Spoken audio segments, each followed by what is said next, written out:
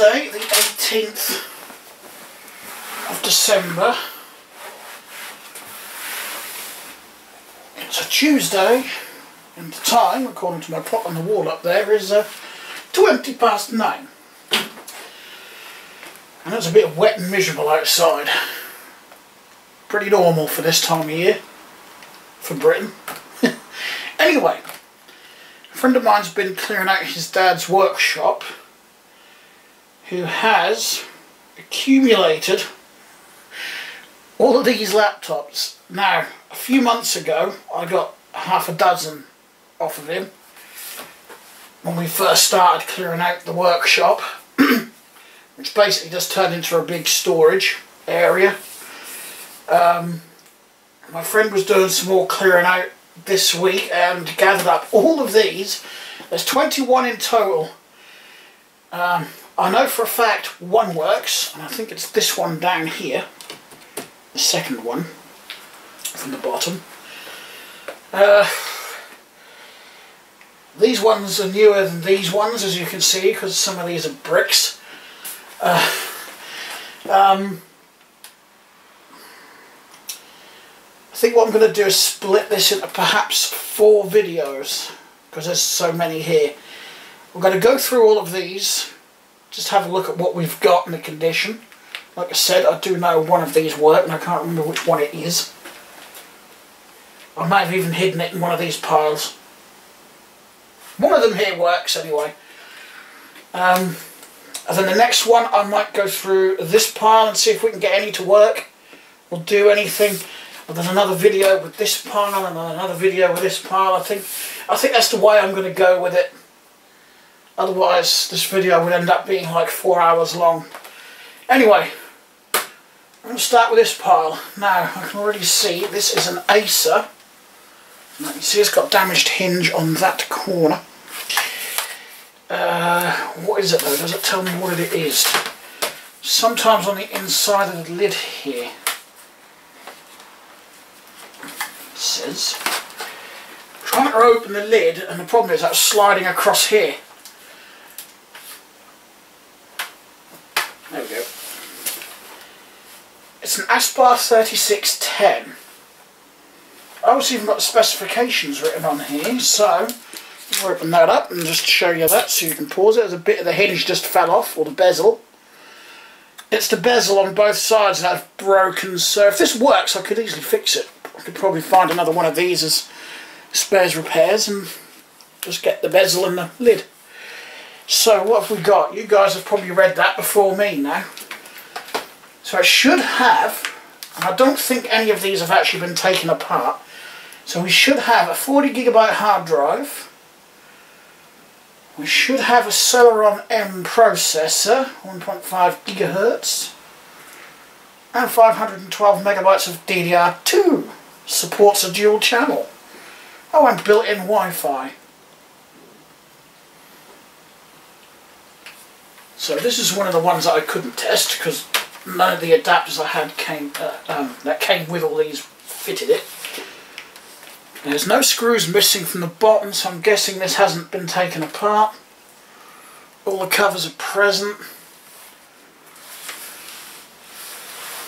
I'm guessing that's the battery. I'm not sure where the hard drive is because I cannot see. I don't think it's going to be under either of these two. So, damage wise, screen lid and bezel would need replacing. Don't know if it's actually going to be worth it on that, but.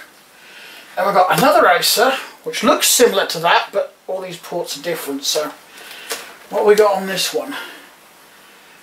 All the plastics are intact. Oh, if I remember rightly, one of these Acers did power up and go into BIOS. The other one, there's a dead short when I plug it in. As soon as I plug in the adapter, it, you hear a crack and uh, the adapter shuts off. It goes into its um, overload protection. But I can't remember which one it is. This has got an AMD Sempron on this one, and this is an Aspire 3000 but there's no sticker on here to tell me when it's running but The plastics are actually in better condition on this one. Some muck there. Hang on. I'm going to have to move my screen round. That's better. I can actually see whether I'm on in shot or not now. Again, this was built for Windows XP. But all the covers are there, all the screws are there. If anything, I've got a feeling the hard drive would be under there.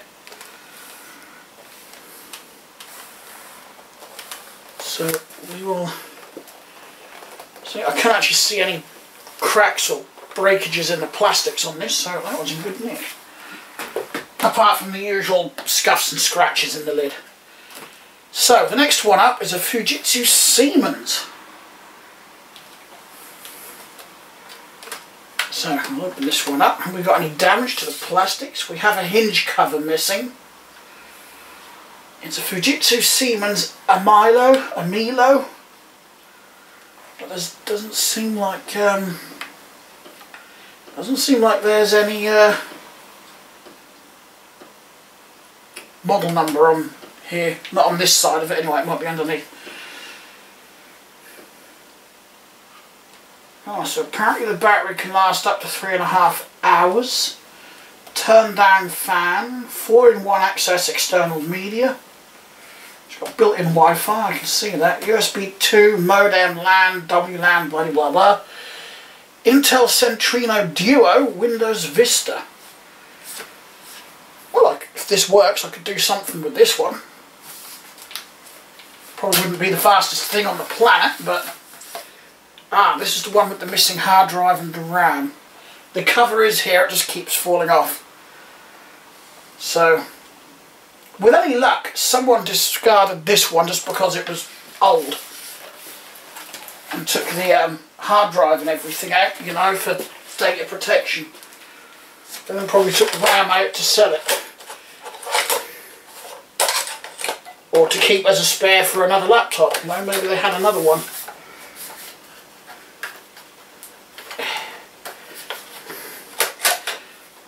Cover is an absolute pain in the friggin' ass. I'm going to have to find some screws for that. I guess I should put the RAM in and whatnot before I do that. Right, the next one. We have a Dell. I do have a number of Dells in this lot. There's a Dell, there's a Dell, everywhere's a bloody Dell. anyway, that was random. So this is an Inspiron 1300. And I can see we've got a screw missing out of the bezel here. We've got two missing actually at the bottom. But um, I haven't been able to test any of the Dells. Oh, it's still got its blanking thing for the PCI thingy slot. Um, because it needs a Dell adapter, so I haven't been able to test any of these Dells. There was a Dell adapter with them, but the plug connector was too big for the socket.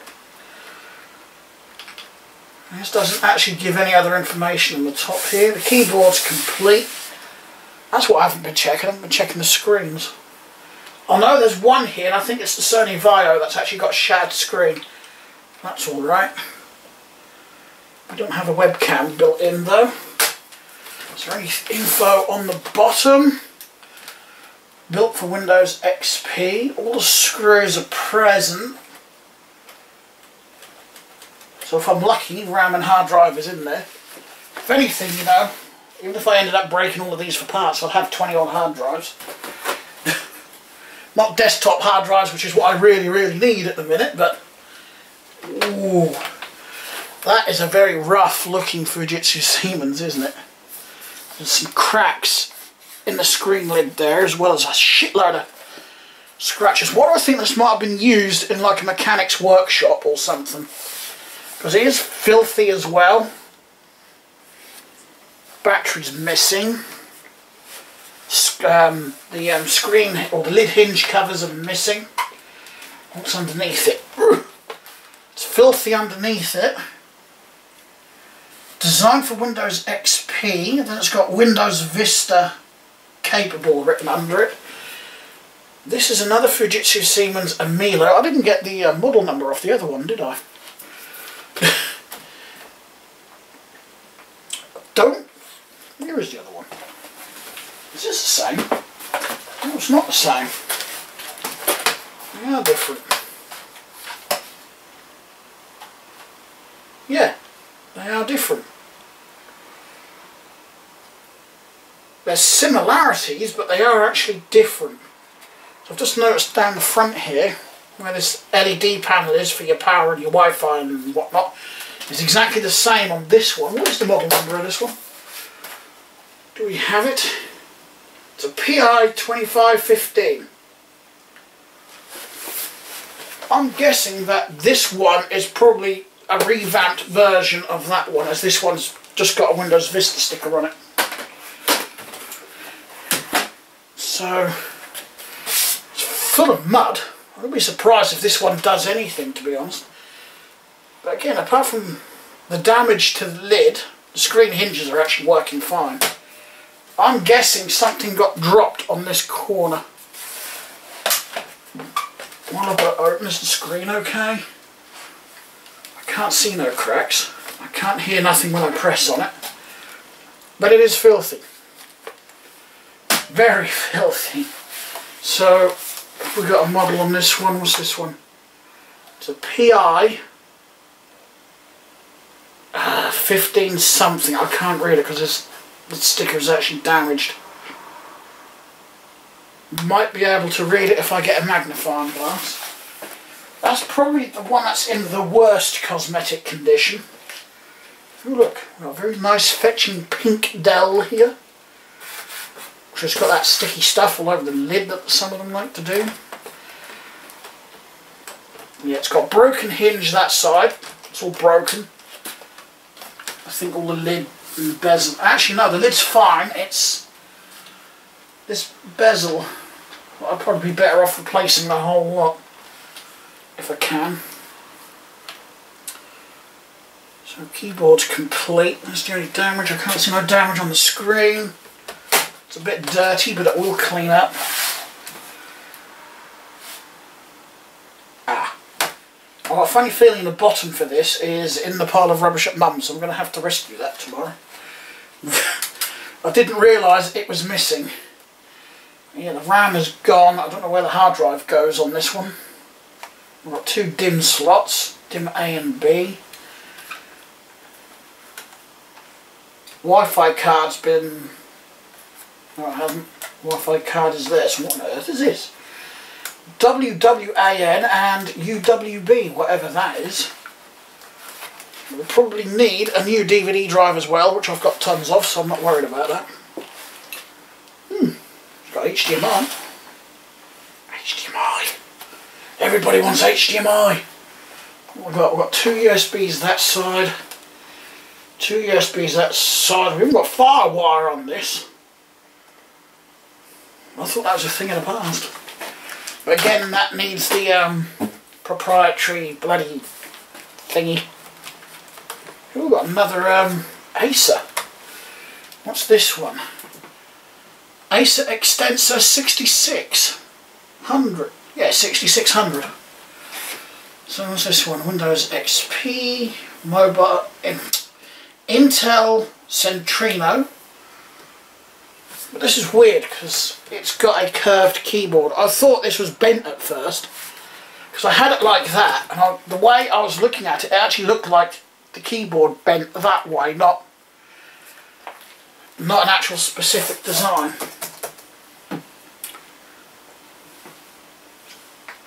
Got an onboard mic, but I don't see a webcam to go with it. The plastics are in fairly good condition on this one. It could have been this Acer that was shorting out. I can't remember. No, I don't think it was. No, it wasn't this one. So that's Windows XP. Again, all the screws are intact, everything's intact. What USB sockets have we got? Only two? You stingy bastards, only two. actually looks like that's the biggest one. And we've got one of my favourite brands now, Toshiba. A Toshiba satellite? Yep, satellite A100-522. What's this one? Windows XP. Battery's missing. someone's had the cover off because I haven't put it back properly, but there is RAM in it. Either that or it's just popped out of there, I'm not sure. Right. Screen is okay, plastics are okay. It's got Celeron M and graphics by ATI.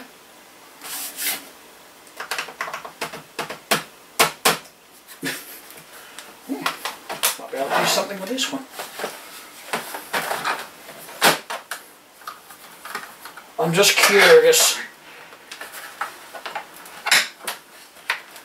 Well, would be if I can get that out. Is that DDR2? It actually does look like DDR2. It is. So this uses DDR2 RAM. What is this? 512? 512. I usually find with such laptops that they'll only go up to maybe a gig, maybe two gigs. Actually, I did have a Windows XP laptop, which was, I believe, a Toshiba. I actually regret getting rid of that because it was a damn good laptop, even if it did just, or was running Windows XP, it was a damn good laptop.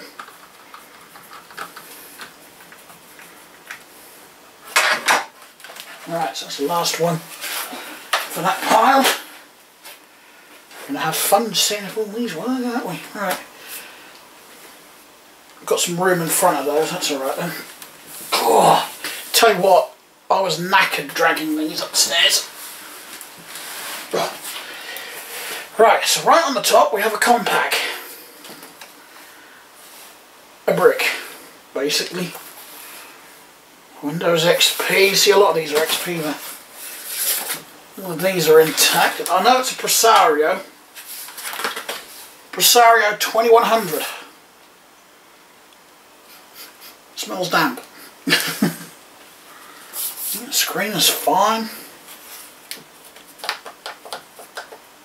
We've got the arrows for the... No, no juice in the battery.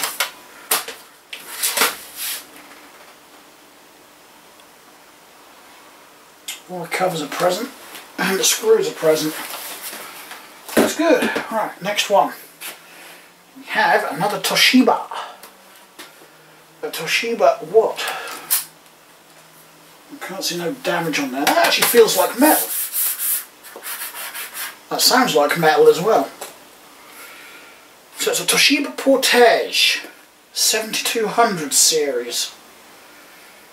And that has got, it doesn't have a touchpad, it's got these buttons, two buttons there, then it's got the little the little um, mouse nibbly thing that a lot of Toshibas and IBMs used back then. And I actually quite like these. It's a shame they stopped using them. That looks in good condition. Is this...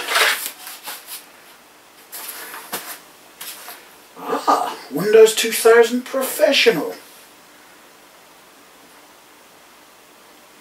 And it's got two data wipe stickers on it for some reason, so it's just been serviced like twice, so that's time.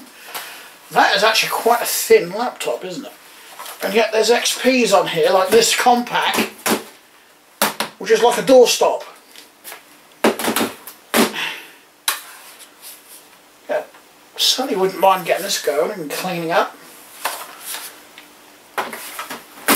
Some of these I will definitely be adding to the collection of mine if I can get them working. So we've got an IBM ThinkPad next. Absolutely spotless on the inside. Dirty on the outside, it needs a good clean. Pentium 3, so I'm going to presume Windows 98. Is there a model number on here to ThinkPad what?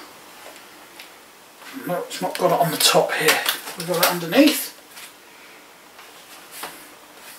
Yep. Microsoft Windows 98 second edition. So this is a ThinkPad. It's made in the USA.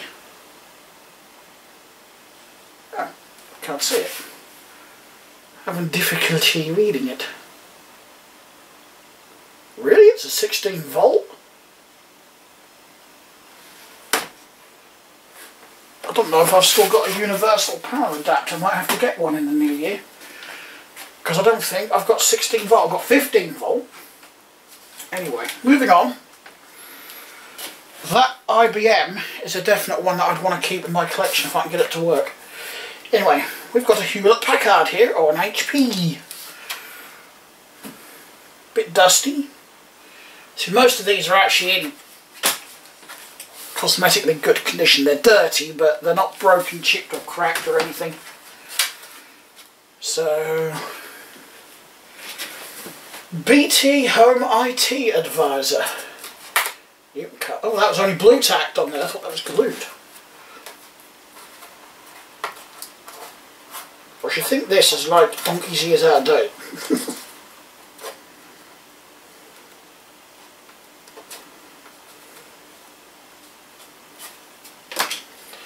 right, Windows XP, yep. AMD Athlon fitted to it. Any battery juice? No. it's an HP Pavilion ZE4200. And I have got something similar to this in my collection already.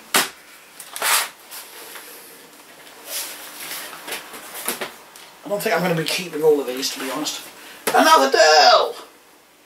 That, I think someone's dropped it on that corner, don't you? So this is, what's that sticker? Oh, got it. It's got a Windows key on it, but I can't read what the actual sticker is. There's one of these I couldn't actually bloody open. So it's a Dell Inspiron 510M. Battery's dead. It's got three buttons missing on the keyboard. Windows XP. Is the screen alright? Yep. So what's that brick? This is an a an Evesham. Evesham? E-V-E-S-H-A-M. Which uses a weird ass power supply, so I'm not sure what I'm going to do with this because I do not have one like that. And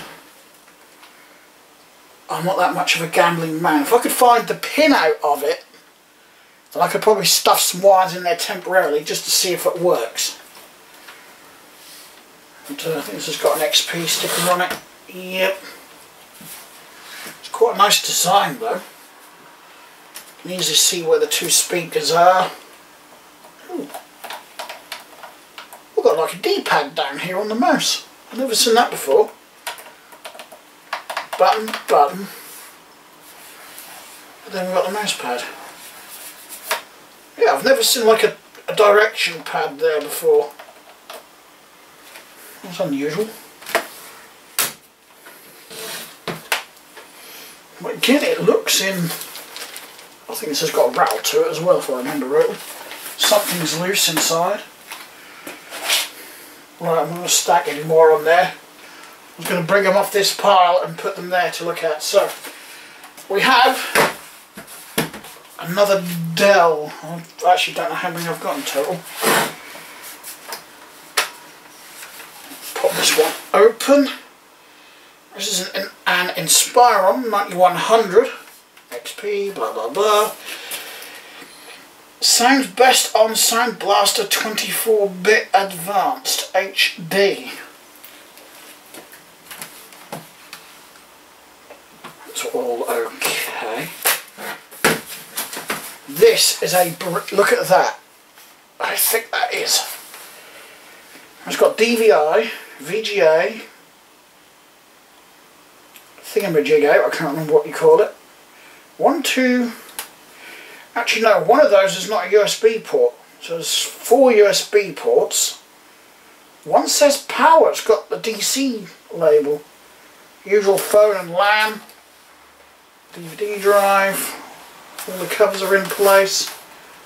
Windows XP Home Edition. Heavy as hell. oh. I have got a pile of adapters here, for those that don't know. I have loads of laptop adapters. Anyway, we've got another Dell Inspiron here. Again, there's nothing to mention with the hinges, they're all okay. Windows XP Pentium 4 and this one is a 2650 couldn't miss those mouse buttons could you? Can you see those? Big buttons. I think this is missing a CD drive. Yep. But again I've got CD drives I can put in there. Don't know if I'll have a cover to go on it. Ooh got a floppy disk drive on this as well.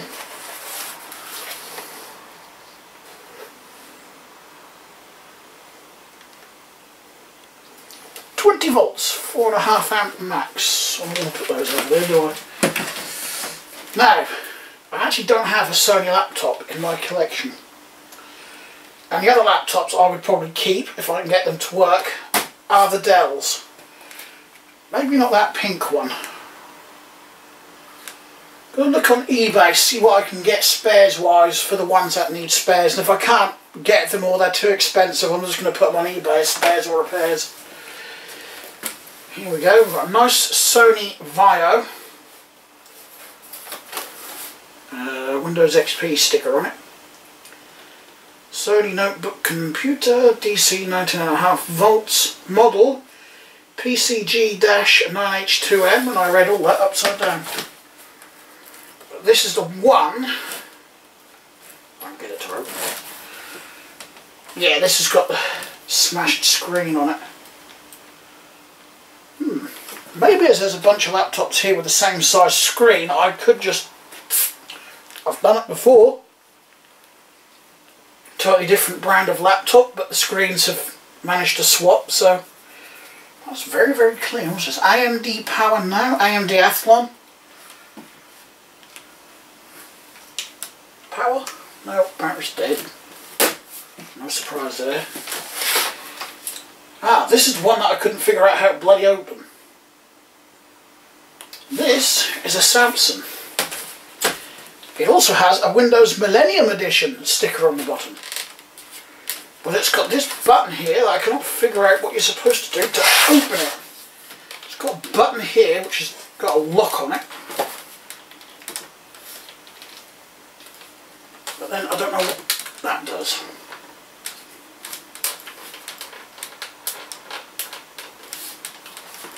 I'm doing something totally wrong, aren't I?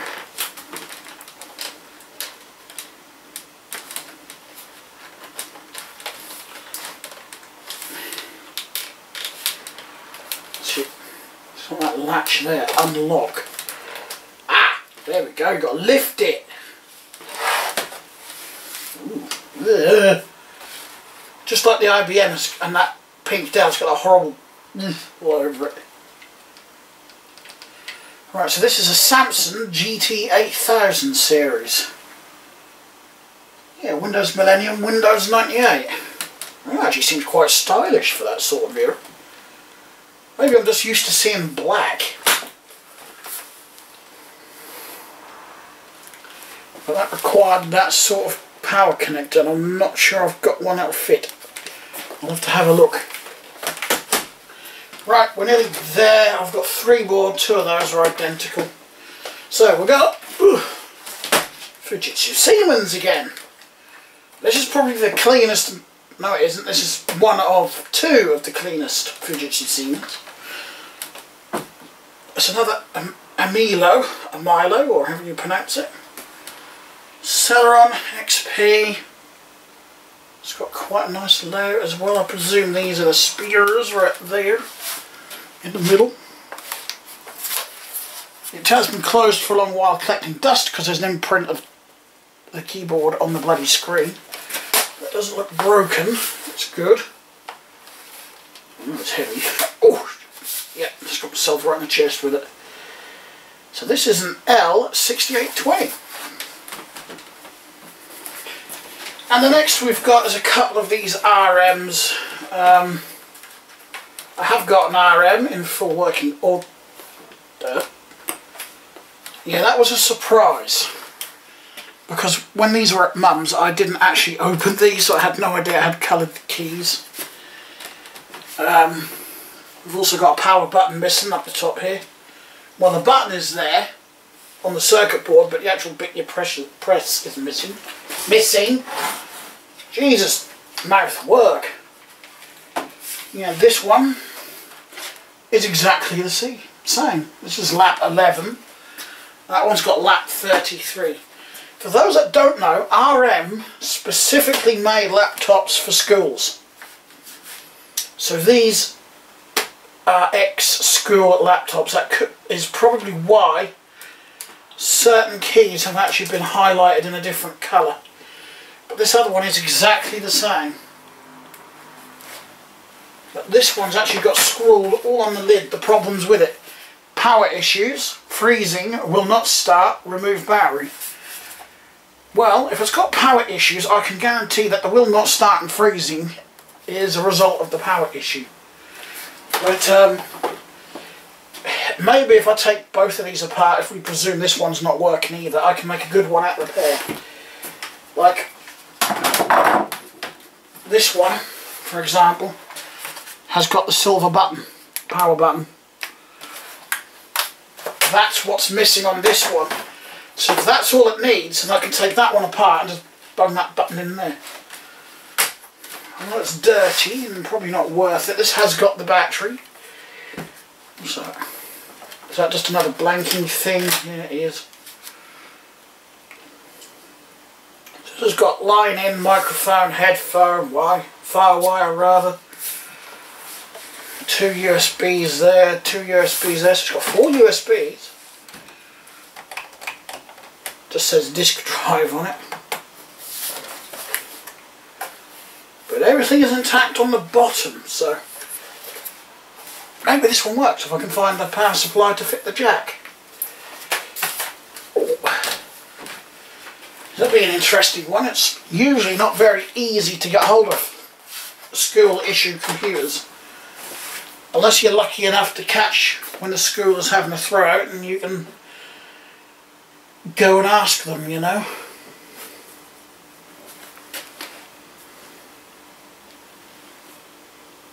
I've no idea what that was, but that can go in the bin. right. So, I think I'm going to call it quits for this video. I've gone through them all. I know that some of the ones, especially the ones that I know run DDR2 RAM, are going to need some spare parts. But typically, the antiquated ones, as my mum called them, are absolutely fine cosmetically. You know, there's nothing broken, chipped or damaged apart from that one Dell. Um, so yeah. Anyway, thanks a lot for watching everyone. I will talk to you again in the next video, which will probably be about these laptops. Bye.